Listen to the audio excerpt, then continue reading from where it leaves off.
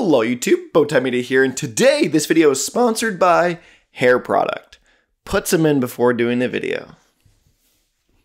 But we are not here to talk about this. We are here to talk about this week in EDM. Look at that transition. I didn't even know I was going to do that.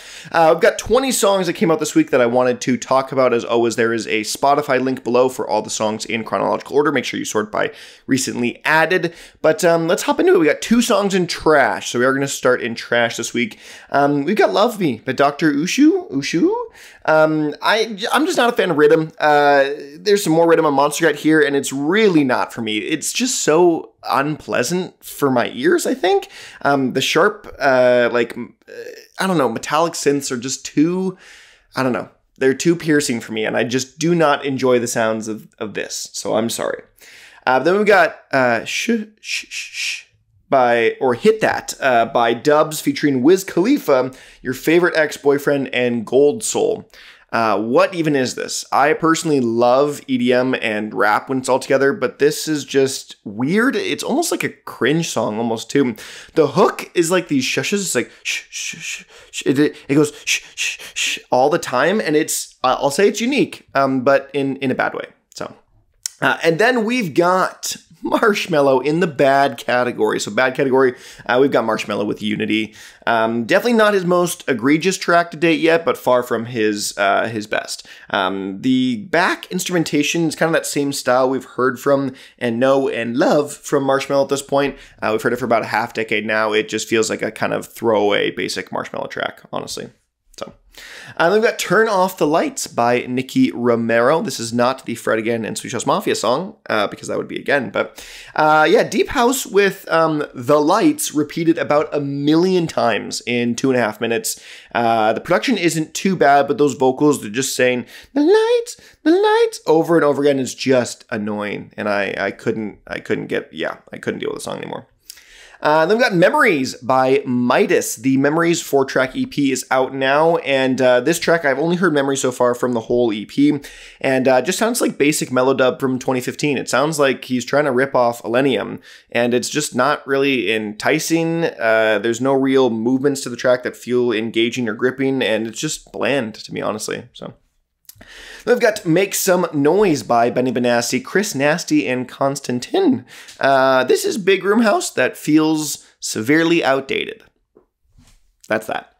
Uh, moving into the meh category songs that I thought were just meh. Again, these are my own personal opinions. Uh, we've got Titans by Excision and Wooli. Uh, this is mild stronger and a better track than Name Drop, which came out from these two earlier uh, or back in the late end of I think August 2022.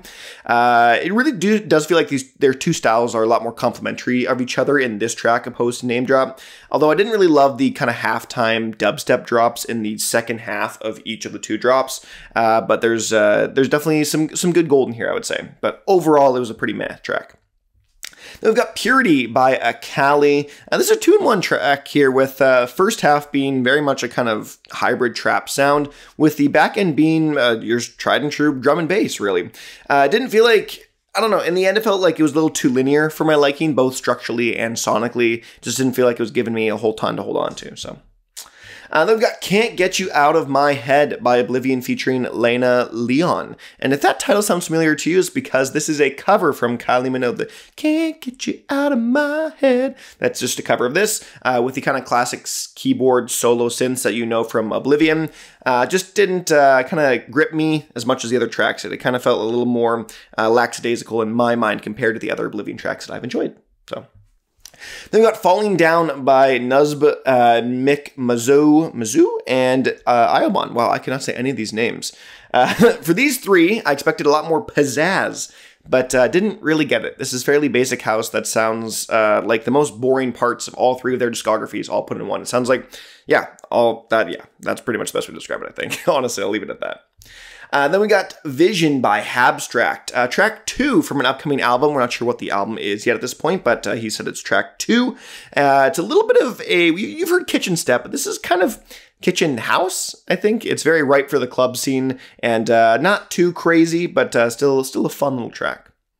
Then we've got Segfault by Sofon and Ferris. Very intense drum and bass drops here uh, with a with a smooth midsection that I really enjoy. Is really enjoyed with a lot of very punchy hits that kind of add a, a tempo that's faster than normally hear. Like you hear a hit like a dung dung like that kind of thing. It's like dun dun dun. It's like really almost weird at first, but then you get into it, you're like, okay, no, I like this. Um, and then just a random kind of guitar string out of nowhere here around the track. It's it kind of has everything, and it's really a little weird, but also I liked it. So that's why it's kind of just here. So.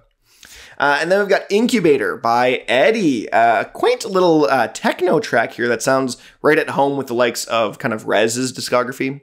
Uh, oh wait, this is on Rezz's label, so that's why it sounds like this. So if you wanted to hear Rezz, but you wanted to hear it in the style of Eddie, uh, this is the song to go to. Uh, it's a dark sound with some interesting ideas, and I did enjoy it, but I think it's just not enough to get in the landing good. So uh, then we've got the good category. Sadly, no standouts this week. Sadly, no standout, which is, oh, maybe a little bit of a teaser for what might be coming ahead.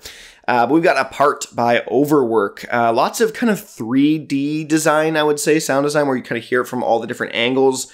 Um, but uh, it's also got that iconic Overwerk bass line sound that we have kind of come to know and love from Overwerk, especially in the last um, bunch of years. Uh, but it, it, was a bit a tad repetitive, I would say. Great sound design and mixing uh, does make up for it, though, in the end. Uh, then we've got Hit My Line by Skylar. Uh, despite being short and with not a ton happening in the off drops, I think the drop sections do really make up for other shortcomings. Um, it's a kind of hybrid trap banger that's really uh, engaging to listen to and something that feels uh, fresh while still having like kind of feeling like it brings me back to old trap that I really enjoyed while still sounding fresh and modern. So uh, then we got Still Here by Fox Stevenson. The Enemy Brain Entertainment Suite EP is out now. It's a nine track EP, very, very long. This easily could have been an album. But uh, this track in particular is a more intense drum and bass sound from Fox Stevenson uh, while still keeping a signature liquid kind of atmosphere. I hope that makes sense, but uh, I've always kind of known Fox Stevenson to have that kind of very smooth sound, especially in the more modern, I would say more recently. Uh, but this kind of is a bit of both, of a bit of the kind of hard hit while still being that smooth Fox that we kind of know and love which I've said a couple times now.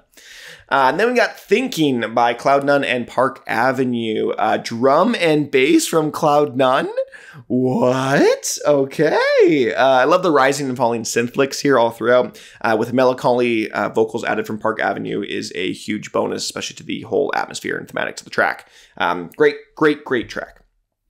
Then we've got every little thing by Conro. I have not been loving Conro's releases as of late, particularly in 2022, uh, but this feels like a return to form for me personally. Uh, this is kind of his classic falsetto vocals with a house beat to it, and uh, vocal chops, which you haven't really heard a ton really in Conro's discography, and uh, it really sells this whole track, I think, for me here. Uh, it's nothing too crazy, but I think that just the, the usage of the vocal chops really adds a lot, uh, a really brand new layer to the track, and especially to Conro's sound design. So I'd love to hear him do some more of that. Uh, and our runner up track of the week is Used to Losing You by BLANKE and Hello World featuring Luma and JT Roach. Both this track and the next track both could have been standout. I'm still kind of teetering the line between it, but I think I just need to put them in good for now. Uh, but this track in particular is a huge collab that I think really held up. This is one of BLANKE's best songs, I think, actually, just all time. Uh, really solid melodic dubstep with a structure that is still like fairly linear, uh, but sounds nice and fresh. Uh, and those off drop sections are absolutely uh, oh they're they're nuts. I really like them, and I love the vocals from uh, both uh, Luma and JT Roach here. I love having both a male and a female vocal uh, adding on track that kind of bounce back and forth. I th- I think it's great. So, and our best track of the week, if you haven't already figured it out by now, it is Xena by Skrillex and Nai Barghouti.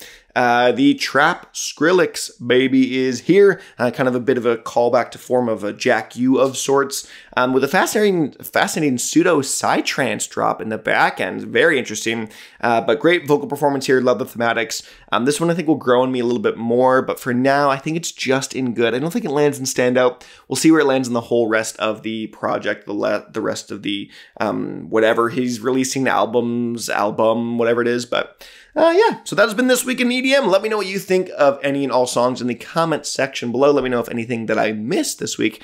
But uh, other than that, I am Bowtied Media with messy hair, and I will see you guys in another video.